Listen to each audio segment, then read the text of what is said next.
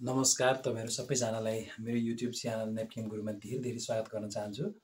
BC second year पढ्ने विद्यार्थीहरूलाई revision क्लासेसहरू ल्याउने क्रममा मैले अर्ग्यानिक केमिस्ट्रीको दोस्रो यो रिभिजन क्लासेस यहाँ ल्याउँदैछु। योभन्दा अगाडि मैले तपाईँहरूलाई अर्ग्यानिक केमिस्ट्रीको साइक्लिक एलिफ्याटिक कम्पाउन्ड्सको बारेमा एक्सप्लेन गरेँ। पक्कै पनि तपाईँहरूलाई एकदमै भिडियो चित्त बुझ्यो होला साइक्लिक एलिफ्याटिक कम्पाउन्डमा कुन कुन क्वेसन्सहरू आउन सक्छ भन्ने कुरा तपाईँलाई मैले एक्सप्लेन गरेँ र त्यो कुन कुन क्वेसनहरू कुन सालमा आएको थियो र कस्तो खालको क्वेसनहरू आए आउन सक्छ भनेर तपाईँहरूलाई मैले पक्कै पनि एक्सप्लेन गरेँ। तपाईँहरूलाई धेरै चित्त बुझ्यो होला र मैले अलरेडी अपलोड गरेको भिडियोजहरू पनि तपाईँले हेरि नै सक्नुभयो होला। आज मैले तपाईँहरूलाई यो सेकेन्ड च्याप्टर अर्ग्यानिक केमिस्ट्रीको दोस्रो च्याप्टर एरोमेटिसिटी भन्ने टपिक लिएर आएको छु। एरोमेटिसिटी टपिक भन्ने बित्तिकै यो बेन्जिनसँग रिलेटेड टपिक हो साथीहरू र यसमा मुख्यतया के के क्वेसनहरू आएको छ र कस्तो कस्तो क्वेसन्सहरू सोधिन्छ भनेर मैले तपाईँलाई अलिकति फोकस गर्न चाहन्छु है त। यसमा यो एरोमेटिसिटी च्याप्टरमा जम्मा चारवटा टपिकहरू एकदमै यो इयर वाइज सोधेको छ। त्रिभुवन विश्वविद्यालयको बिसी सिनियरको एक्जाममा फोरवटा टपिकहरूको सेन्ट्रलाइज भएर क्वेसन्सहरू सोधेको छ। हेर्नुहोस् त साथीहरू पहिलो नम्बरमा छ एरोमेटिसिटी ओगेन्स्ट रुल एरोमेटिसिटी भनेको के हो? एरोमेटिसिटी अन्तर्गत तपाईँहरूले तिनवटा टर्म्सहरू जान्नुपर्छ। एरोमेटिसिटी भनेको के हो? नन एरोमेटिसिटी भनेको के हो? र एन्टी एरोमेटिसिटी भनेको के हो भन्ने कुरा जान्नुपर्छ। पक्कै पनि तपाईँले एरोमेटिसिटीको लागि हकेल्स रुल तपाईँले जान्नुपर्ने हुन्छ। हकेल्स रुल तपाईँलाई पक्कै पनि थाहा होला। हकेल्स रुल तपाईँले जानिसके पछाडि जुनसुकै मलिकुल पनि एरोमेटिक हो कि होइन भनेर थियोरिटिकली तपाईँ प्रुभ गर्न सक्नुहुन्छ एरोमेटिक हो कि होइन भनेर तपाईँले विभिन्न कम्पाउन्ड्सहरूको त्यो ट्राई गर्न सक्नुहुन्छ। सो एरोमेटिसिटी र हकेल्स रुलसँग हकेल्स रुलसँग सम्बन्धित चाहिँ क्वेसन्सहरू कति कुन कुन इयरमा आएको छ भनेर मैले तपाईँहरूलाई एक्सप्लेन गर्दैछु। टु थाउजन्ड सेभेन्टी नाइनमा आएको छ जस्ट अघिल्लो वर्ष। सेभेन्टी एटमा सेभेन्टी सेभेनमा सेभेन्टी फाइभमा सेभेन्टी टूमा सेभेन्टी वानमा सेभेन्टी अलमोस्ट अल इयरमा यो अलमोस्ट सबै वर्षमा चाहिँ फेलसोलसँग सम्बन्धित क्वेसन्सहरू आएको छ तपाईँले देख्न सक्नुहुन्छ ओल्ड इज गोल्ड अथवा ओल्ड क्वेसन्सहरूमा त्यसैले यसबाट थाहा हुन्छ कि हकेल सुलसँग सम्बन्धित क्वेसन्सहरू कतिको इम्पोर्टेन्ट छ भनेर होइन? हकेल सुल तपाईँले जान्नु पऱ्यो हकेल सुल भनेको के हो जान्नु पऱ्यो र त्यसमा मलिक्युल्सहरू हकेल सुल अनुसार एरोमेटिक हो कि होइन भन्ने कुराहरू चाहिँ त्यसमा जान्नु पऱ्यो पक्कै पनि तपाईँहरूले यो मैले हकेल सुलसँग सम्बन्धित भिडियो तपाईँहरूलाई अलरेडी अपलोड गरिसकेको छु तपाईँहरूले पक्कै पनि हेर्नु होला सो तपाईँहरूले यदि एरोमेटिसिटी च्याप्टर पढ्दै हुनुहुन्छ भनेदेखि हकेल्स रुल र यसमा तिनवटा कुराको डिफिनेसन है। एरोमेटिसिटी भनेको के हो? एरोमेटिसिटीको बारेमा तपाईँले जान्नु पऱ्यो केलाई एरोमेटिसिटी भन्छ? डिफाइन एरोमेटिसिटी भन्ने कुराको आन्सर तपाईँले जान्नु पऱ्यो भने त्यस्तै गरी नन एरोमेटिसिटी भनेको के हो? जसले हकेल फलो गर्दैन त्यसलाई हामीले नन एरोमेटिक टाइपको कम्पाउन्ड भन्छौँ र अर्को एन्टी एरोमेटिक हुन्छ।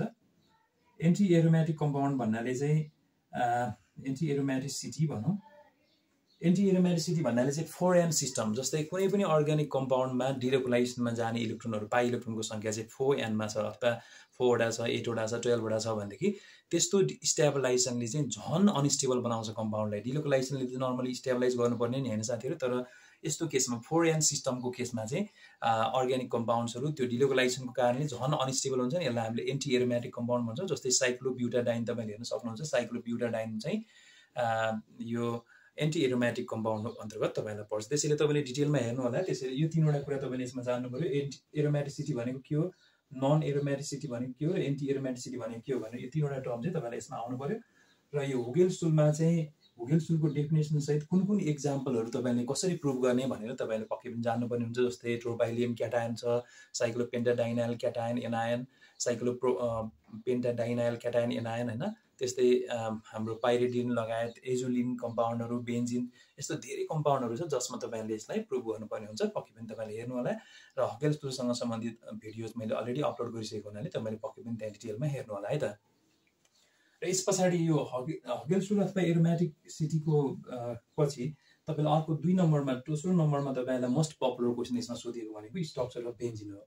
तपाईँलाई सायद साथीहरू बेन्जिनको इमेजिङ स्ट्रक्चर छ यसलाई केकुल भन्ने साइन्टिस्टले केकुल स्ट्रक्चर छ?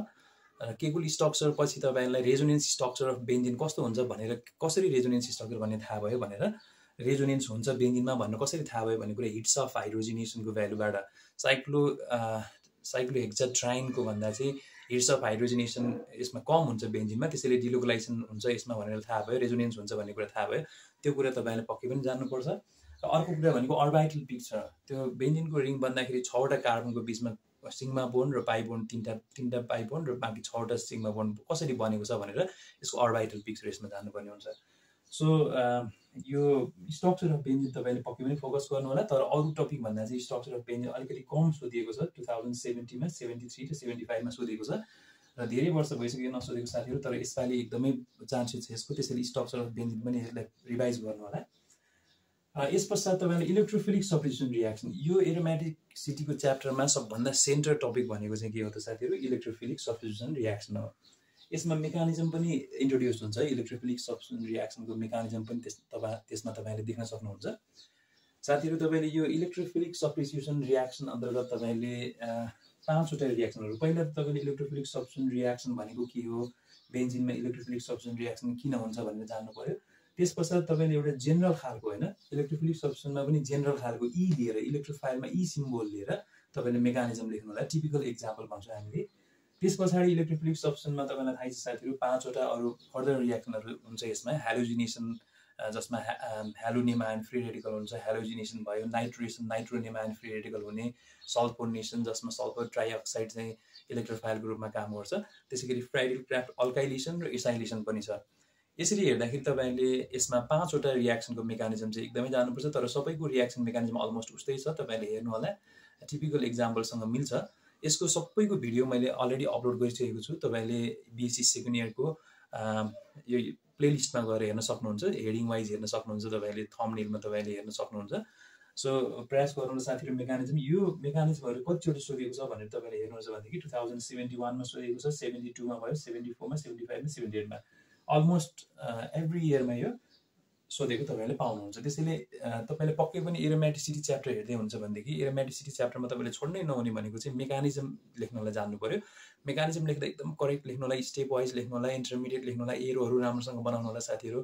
त्यसैले तपाईँले यो पाँचवटाको मेकानिजम चाहिँ पक्कै पनि जान्नु होला। पाँचवटा मध्ये एउटा न एउटा चाहिँ पक्कै पनि तपाईँहरूले तपाईँहरूलाई इक्जाममा आउँछ नि होइन? पाँचवटा Friedel craft alkylation acylation halogenation nitrogen sulphonation मध्ये एउटा न एउटा मेकानिजमले तपाईँलाई सोधिराखेकै हुन्छ। सो साथीहरू तपाईँले पक्कै पनि मेरो युट्युब च्यानलमा अलरेडी अपलोड गरेको भिडियोबाट हेर्नु हेर्नु होला यसै गरी तपाईँले अर्को नम्बर फोरमा एकदमै नम्बर फोरमा जान्नुपर्ने अर्को टपिक फाइनल टपिक एरोमेटिसिटीको पनि theory of reactivity and orientation कुनै पनि बेन्जिन रिङमा इलेक्ट्रोफिलिक सब्सन रियाक्सन हुन्छ भन्ने कुरा त तपाईँलाई थाहै छ।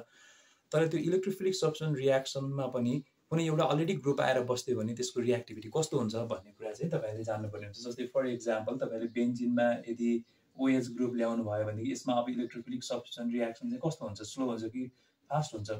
बेन्जिनमा भन्दा चाहिँ यो फिनोलमा कस्तो हुन्छ भनेर जस्तो अलरेडी एउटा ग्रुप आउँदाखेरि त्यो ग्रुपको रियाक्टिभिटीमा कस्तो असर पर्छ त? बेन्जिनलाई एक्टिभेट गर्छ कि डिएक्टिभेट गर्छ भन्ने कुरा चाहिँ तपाईँले यसमा जान्नुपर्ने हुन्छ थ्योरी अफ रियाक्टिभिटीमा वेदर त्यो पार्टिकुलर कम्पाउन्ड चाहिँ बेन्जिनभन्दा रियाक्टिभ छ इलेक्ट्रोफिलिक सब्सन रियाक्सनमा अथवा लेस छ लेस रियाक्टिभ छ एक्टिभेटिङ छ कि डिएक्टिभेटिङ छ त्यो ग्रुप भनेर तपाईँले यसमा पढ्नुपर्ने हुन्छ। यसको पनि मैले भिडियो अलरेडी अपलोड गरिसकेको छु तपाईँले पक्कै पनि हेर्नु होला theory of reactivity and orientation र अर्को ओरिएन्टेसन भन्नाले चाहिँ जस्तो बेन्जिनमा सिम्पली बेन्जिनमा हामीले इलेक्ट्रोफिलिक सब्सिट्युसन रियाक्सन गरायो भने त त्यो छवटा ठाउँमा जहाँ पनि सब्सिट्युट हुनसक्छ जहाँको हाइड्रोजन पनि सब्सिट्युट हुनसक्छ होइन? बेन्जिनमा। तर यदि बेन्जिनमा अलरेडी एउटा ग्रुप आएर बस्यो यहाँनिर एक्स भन्ने एउटा ग्रुप आएर बस्यो भने त अब इलेक्ट्रोफाइल आउँदा त you have got either ortho position अथवा मेटा पोजिसन अथवा पारा पोजिसन कहाँनिर आउँछ त? यो एक्स ग्रुपले डाइरेक्टिङ दिन्छ नि। यो एक्स ग्रुपले गर्दा इन्भाइरोमेन्ट क्रिएट गर्छ कि इलेक्ट्रोफाइल कहाँ बस्ने होइन? त्यो कुरा चाहिँ अर्थमा बस्ने कि अर्थ पारामा बस्ने कि मेटामा बस्ने भन्ने हुन्छ। सो कुनै पनि ग्रुप चाहिँ अर्थ प्याराडाइटर हुन्छ वा मेटाडाइटर हुन्छ कसरी प्रुभ गर्ने कि यो पार्टिकुलर ग्रुप चाहिँ अर्थ प्याराडाइटर हो अथवा यो पार्टिकुलर ग्रुप चाहिँ मेटाडाइटर हो?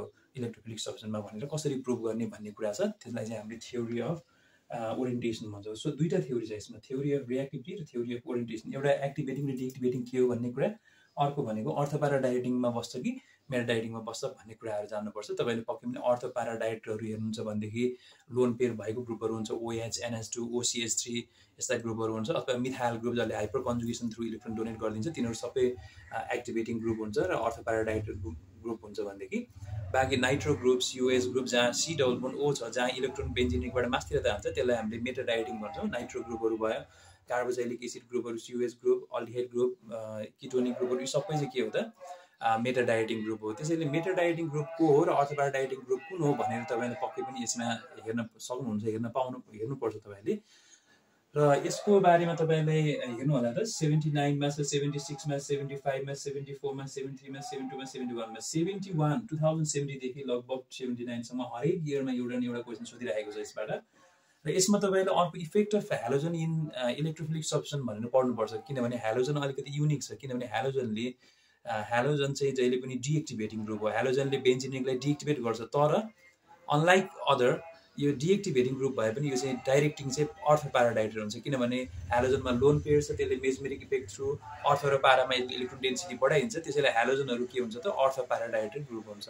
सो हेलोजनको केसमा स्पेसली हेर्नु होला है। हेलोजन चाहिँ अलिकति डिएक्टिभेटिङ ग्रुप भए पनि अर्थ प्याराडाइटर हो।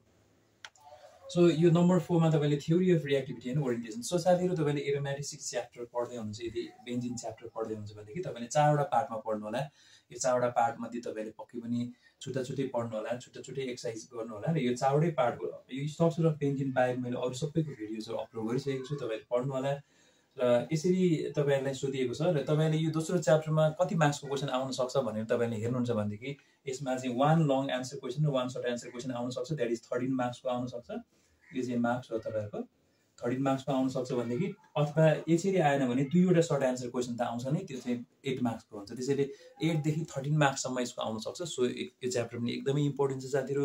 यो कन्सेप्ट वाइज पनि एकदमै इम्पोर्टेन्ट छ। त्यसैले मेरो सजेसन तपाईँहरूलाई के छ भने एरोमेटिसिटी च्याप्टर पढ्दै हुनुहुन्छ भने यो चारवटा टपिकमा पढ्नु होला र यो चारवटा टपिकबाट क्वेसन्सहरू सल्भ गर्नु होला र यसको लागि तपाईँहरूलाई सपोर्टको लागि मैले अलरेडी भिडियोजहरू अपलोड गरिसकेकी छु। यो युट्युब च्यानलमा त्यो भिडियोहरूलाई फलो गर्नु होला त्यहाँबाट कन्सेप्ट डेभलप गर्नु होला भन्दै मैले अर्को दिन चाहिँ तपाईँहरूलाई अर्को च्याप्टर अलिहेड्स एन्ड किटोन च्याप्टरमा के के कुराहरू इम्पोर्टेन्ट छ कुन कुन टपिकहरू कसरी पढ्ने भन्ने कुरा पक्कै पनि लिएर आउनेछु। तबसम्मको लागि नेपकिम Guru assistant professor of chemistry Tribhuvan university Vishnuraj पाण्डेलाई बिदा दिनुहोस्। हस् नमस्कार।